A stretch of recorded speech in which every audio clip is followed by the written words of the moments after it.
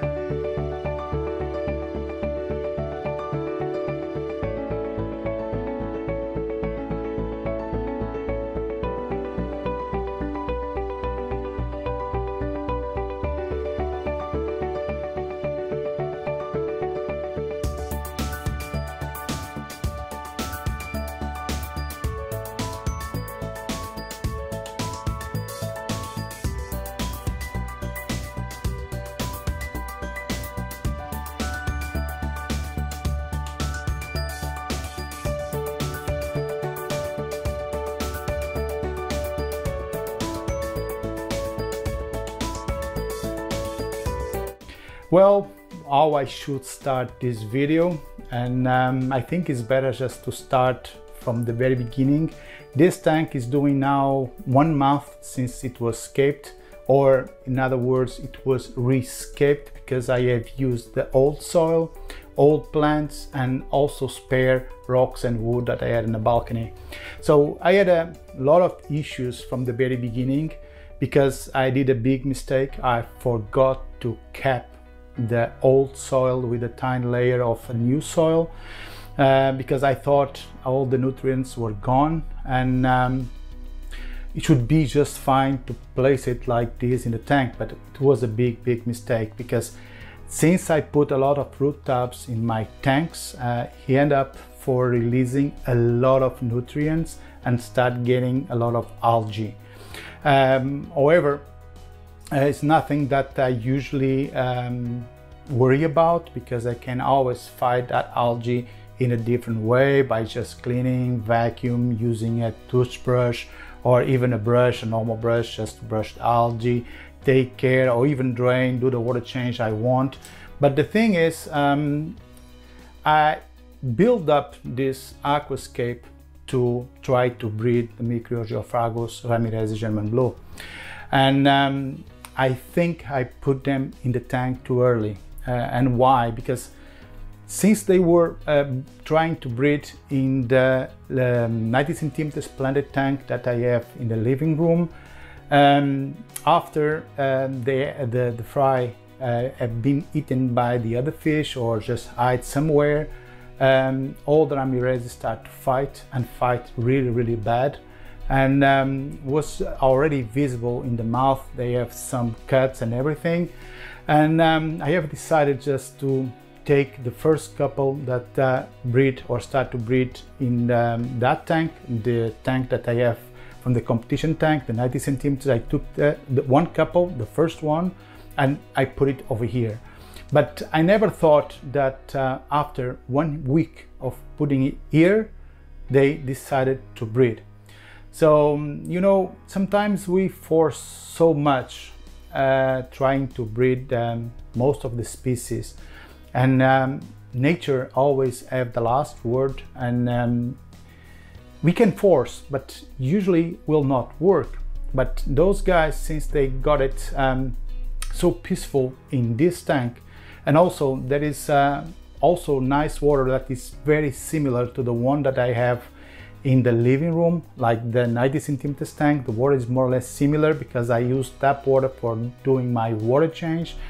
And then um, the parameters was just nice. Um, I must say that I did a small mistake because I increased a little bit the temperature on this tank um, because since I was doing a little bit more water change, I just wanted the water just to uh, increase a little bit faster. And uh, accidentally, I put it in 27.5. And um, then I did a big water change. And uh, since that point, they decided to breed once again. And um, of course, uh, since they laid the eggs on the wood, they move it from place to place. And uh, I thought, well, uh, the tank is probably not mature enough. Uh, they will end up by eating the eggs, will not be a problem, should not be too concerned about it. However, I trust a little bit uh, on them and I have decided just not to clean or vacuum uh, all the areas inside of the tank and uh, those guys are tough because they really decided to take this forward and um, the fries are there. And um, since they hatch it uh, the eggs since they hatch it um, we are now on the second week uh, is doing tomorrow two weeks to be more precise that the fry are swimming all over the tank. Uh, the only thing that I've done in this tank since I saw the eggs, I took the dwarf puffer uh, and I put it on the other tank because I know that um, that guy, as soon as he sees something moving, he's going to attack and going to eat. The only fish I have in this tank is the Otocinclus affinis and also Corydoras pygmaeus, nothing more. And I left them there because uh, I, I needed something to clean uh, the wood, the organic waste, and also there's 10, I think 8 or 10 Corydoras pygmaeus just to clean a little bit of the bottom of the tank. However, Corydoras pygmaeus usually don't behave as normal Corydoras. They tend just to swimming on the middle of the tank, stay on the leaves, stay uh, on the plants, on the wood. They don't like to be too much on the soil or sand. But however, when they are uh, hungry, they, they still need to have some food. And the idea is just leave them there. So anytime I put some food in the tank, uh, they will help just to clean a little bit the mess. Yeah, because it was a big, big mess on the beginning because since the eggs uh, hatched and the fries start swimming all over, um, we know uh, we need to try to make the fries to uh, eat. And um, I had it from before because I bought it uh, before this one is uh, liquid artemia. Uh, I try I feed them uh, the old ones with this but I guess it was not a problem of food or nutrition. It was just be eaten by the other fish or just they are placed on the bush of the stem plants but um, I believe they will not survive or um, seen for the moment I have seen nothing. But those guys take a while to grow. This is not like breeding guppies or any vivipar uh, fish uh, like mollies. No those guys take a while to grow. And we need to be very uh, careful with the water parameters. Um, guys if you think that keeping a planted tank is tough try to breed those guys and then you're going to see all the time that you're going to spend just in maintenance. Because I am doing a partial water change every day or every two days about 50% uh, sometimes a little bit more because uh, I need to vacuum some areas. And for that um, sometimes I need to use a very tiny hose because on the beginning first i didn't want to stress the parents because you know those guys are very famous. Uh, when they feel so stressed they end up by eating the fry.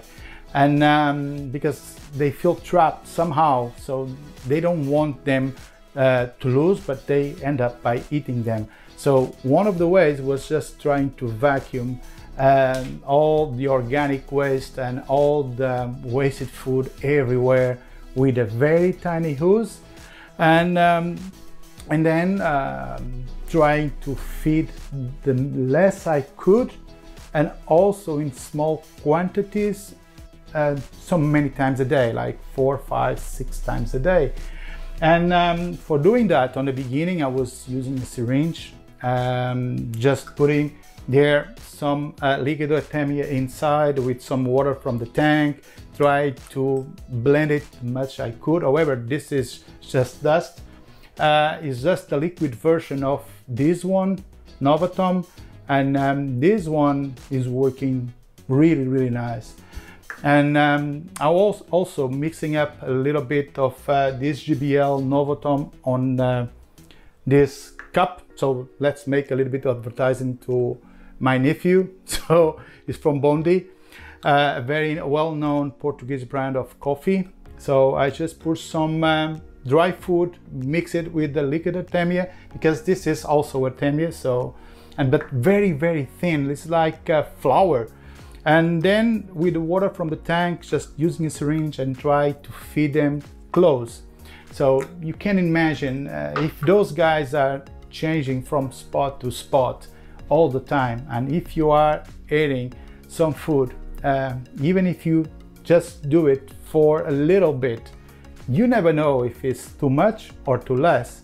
But the thing is, those guys don't eat that much, and then you start having a lot of organic waste. When you start having a lot of organic waste, a tank that is already not 100% balanced, you start getting algae. Algae everywhere. But I mean everywhere. And uh, it was a little bit stressful, mostly if you have OCD and you want to have everything so pristine, so clean. Um, no, um, we can have, we cannot have the best of the two worlds in one tank. However, the tank now looks quite clean because I spent almost two hours just to vacuum, waiting for the fry just to move to one side of the tank and then move on the other one and then you know, anytime they were, the parents were moving the fry to another place, I was vacuum on the opposite way. But always is very, but it's very difficult. Why? Because the guys don't have color. They are so tiny. And then probably if you are not with attention, you wind up just by vacuum a few.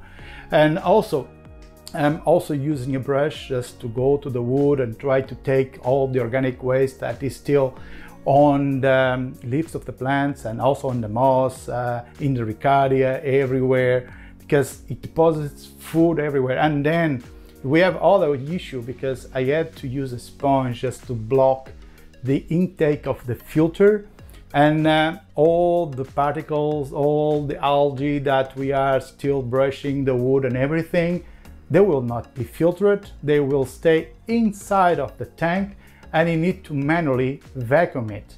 So anytime that I do a water change, um, every single day or every two days, it depends if um, I still have the time and the tank looks clean. So I don't try to don't feed that too much and um, I will do it every two days and always after water change because uh, I use some prime or uh, some premier uh, and why Usually I don't use any anti-chloride in my tanks, but um, we are in summer and um, usually on summer uh, over here, um, even the water being really good, they try to increase a little bit of chloride in the water on chlorines uh, in the water in a way that um, will be safe to drink because they need to kill the bacteria. They also some fires uh, so they need to treat the water and usually they add a little bit more chemicals just to clean that. So be careful if you are using tap water, mostly on the summer, um, try to use antichlorine um, in your tanks just to be sure you don't have any issue, okay? Usually on the other months of the year, uh, I don't use it, but uh, since I have the fry, I tend to use it every time I take the water out. I pour some uh, uh, prime or premier Premier is good also because Premier already have potassium on it. So I kind of uh, increase a little bit the fertilization on it, but not increasing the macro elements like nitrogen or phosphorus, because I'm pretty sure those will be already a lot inside of the tank. So I want just to provide some potassium, and uh, if it is antichloride with a little bit of potassium, it's just more than enough to run this tank. Mostly if I am do doing water change every single day or every two days. And also, you can call me a little bit crazy, but uh, I'm using some Flourish Excel and um, I would say overdosing it after water change because if they advise to use uh, 5 ml for every 40 liters, this is 100 liter tank and uh, I am dosing 20 ml every water change just to help me fight a little bit those algae. I know some guys are against that. They say that this is poisoned and this is not healthy for the plants, this is not healthy for the fish. However, after two weeks by dosing it Excel in the tank, the fries are still there. So just be sure when you do dose any organic carbon in your tank because organic carbon will not replace the, the CO2 but will also but will uh, allow you to increase the photosynthesis of your plants and fight some other algae okay so what I am doing here is um, after doing the water change um, I usually do it uh, on the peak of the photo period more or less because it's more or less the time that I am recording this video because uh, before I was spent two hours just to clean that.